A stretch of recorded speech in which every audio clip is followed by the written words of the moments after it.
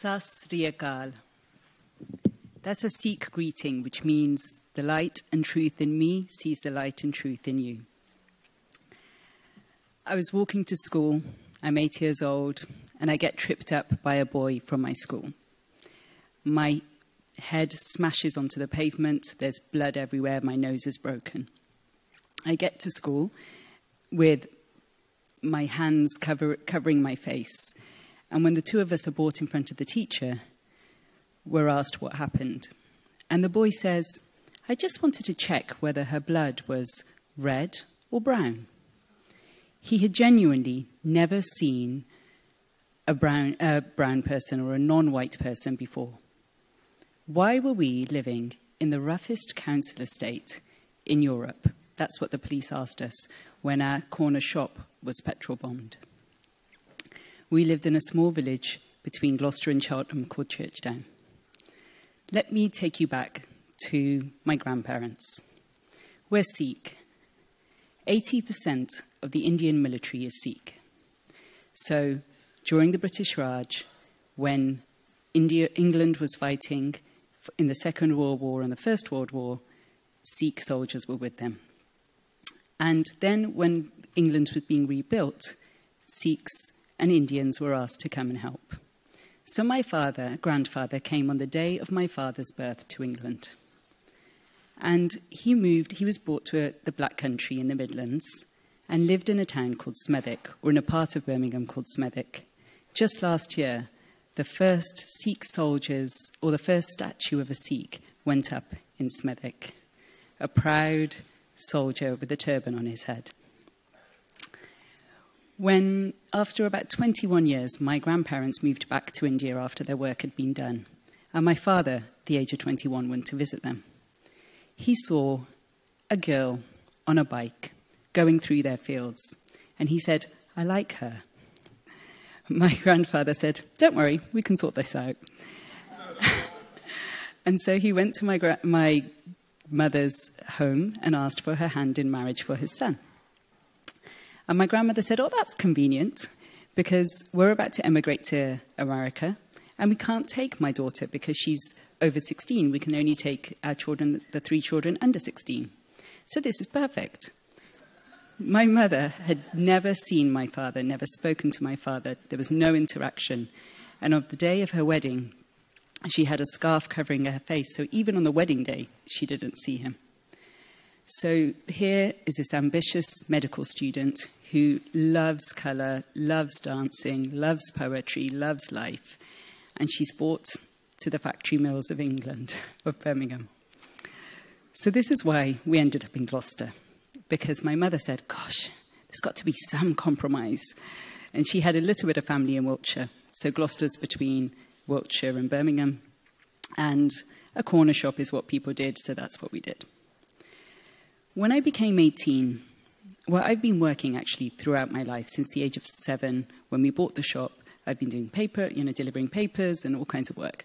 So when I was 18, I was working for a flying school. So I went from my flying school to pick up my A level results. And when I came back, my boss, Roger Pullman, said, So, what did you get? What happened?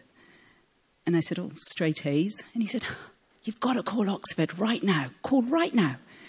So I called and I was interviewed. And when I went to the shop to tell my mum. One of the customers in the shop said, Oh, lots of pressure, Oxford. There's drugs, you know. I wouldn't send her there. And my headmistress said, Oh, Mandeep, are all the other six acceptances that you got to, uh, during UCAS, are they too good for you now? And my mother thought about a white boy called Sebastian, whom I'm inevitably going to marry, and thought that she's going to lose her one and only friend in this village to the white elitists that she didn't, in a place she didn't, where she felt really isolated and lonely, that she was going to become even more isolated and lonely, that she wouldn't even be able to speak her language to her grandchildren. And she said, please don't go. At that point, something in me changed. I realized that her values were not my values. That although, her, although she was wanting the best for me, just like her mother did, and she was valuing family and heritage and safety. My values wanted, well, they were thirsty for knowledge. And before I'm married off and facing death, i.e., marriage, same thing, I just wanted to see everything and live. So the next opportunity I got to study hard and get somewhere, I didn't tell my mother. And I got a full paid scholarship to study in Melbourne. So I'm studying PPE in Melbourne. And there, on my way back to England, I decided I'm going to travel all the countries in between. This is my one chance. And then after that, I couldn't stop. So, why is a girl like me traveling now over 150 countries? Because I just had to. I had to explore, I had to see. And this brings me to tonight and some of the values that I learned in these different places. So let me take you to Nicaragua.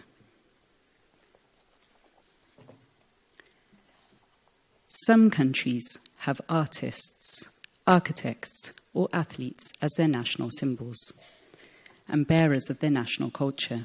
Some are identified or defined by geography, political ideas, or religious culture. Nicaragua alone is a land that lives, breathes, and expresses its identity through poetry.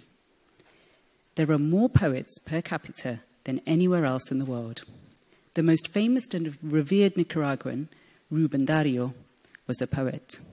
The president, Daniel Ortega, was a poet in his youth, and so is the vice president, Rosario Murillo, and the two are married. Every year, the world of poetry descends on Nicaragua's cultural capital, Granada, for the International Poetry Festival, one that brings together verse writers from over 50 countries. And here you see that poets don't just narrate the nas- national story. In Nicaragua, they actively help shape it. Nicaraguan poetry has been a weapon of revolution, the catalyst for social change and a marker of national identity. Poetry has been a means to protest injustice, to record people's hardship, and a vessel for aspiration and dreams.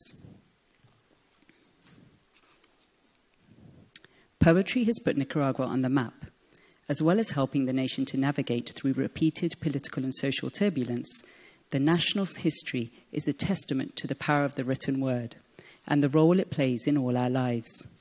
Poetry helps us process what's going on around us and make sense of events we cannot always control. It is evocative, empowering, and above all, galvanizing, giving people a voice, an outlet, and representation.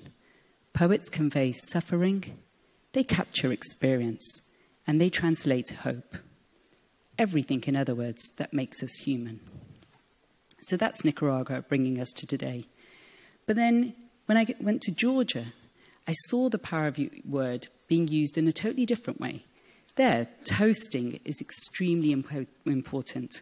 There's like a toastmaster for every meal, and meals are very important. So there would be a tamada, a toastmaster, in a, in a gathering. It could even be your family gathering. And he or she would insist on, firstly, explaining why we've all gathered, then giving recognition and gratitude to the host. Then recognizing each and every person on the table. Then recognizing our descendants and ancestors. Then thinking about the future generation and the bridge between the two. Then thinking about all the bittersweet moments that happened last year and how they've made this time so special. And now we have lessons learnt. And then thinking about, oh, well, maybe you've got something to say. And then each of them compete and want to recognize one another for and it goes on. And if you try and stand up because, you know, you're hungry or you're thirsty, that's really rude. We haven't finished recognizing one another. It's extremely powerful. And I saw a similar ceremony in South Africa. It's called Ubuntu. When someone slips up in the South African uh, village, the tribe, for two days solid, gather around him or her and just say all the amazing things that they've done and remind them of who they really are. And, remem- and they believe that there's only goodness in us. And if you've made a mistake, it's simply that you that was a cry for help. The last country I'd like to share would be Albania. Albania has this value of Besa, which means word. Besa is worth more than gold. What is there apart from your word? And the Kanun, which is a word or a law or the constitution, is describing the highest authority, one's word, promise, honor, and all responsibilities that it entails lie so close to the heart of Albanians that it's often referred to as Albanianism. This is why, during one of the darkest chapters in, for the nation, when millions of Jews, gays, communists, and racial minorities were gathered up across Europe, Albanians fought to save complete strangers. While the Holocaust saw 90% of Poland's Jews killed, 77, 77% of those in Greece were killed. It is estimated that Albania emerged from the Second World War with a population of Jews 11 times greater than it had at the beginning. There is not a single known case of a Jew being turned over to the Nazi authorities during the, during the occupation. And so Albania was recognized as righteous among nations by the Holocaust Memorial Museum. If we don't honor our word, our responsibilities, our families, then we have lost something essential to our sense of self. Being our true word, a principle that time and time again underpins trust and respect between people, being your besa, says everything about you as a person. It is the last thing we should never allow ourselves to give up. This brings me to India. I'm obviously Indian, we've established that.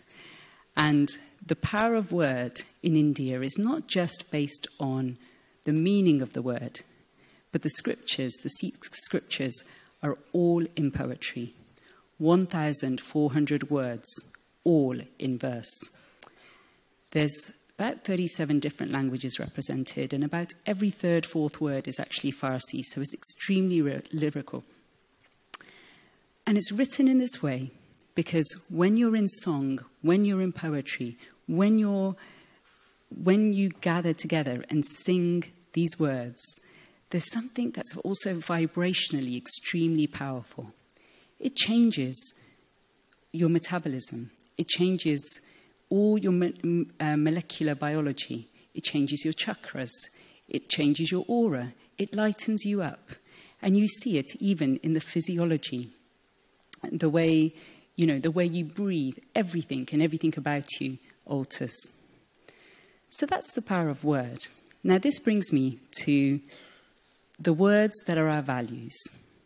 If I were to put a hundred value words in front of you,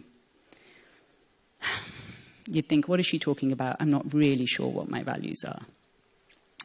But if I ask you to think back at last year or the year before, or maybe even when Brexit happened, a time when your values were violated, think back in your past.